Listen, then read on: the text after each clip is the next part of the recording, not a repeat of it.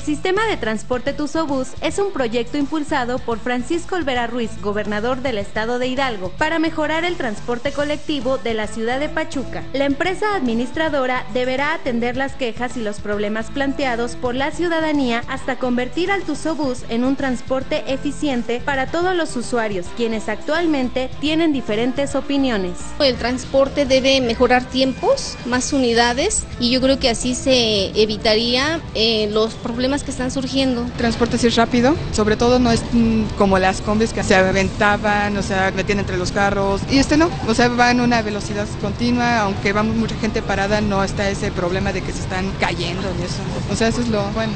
Hay que tener cultura hasta la gente que está manejando. Por eso ha habido los accidentes, la gente se mete en el carril que no debe de ser.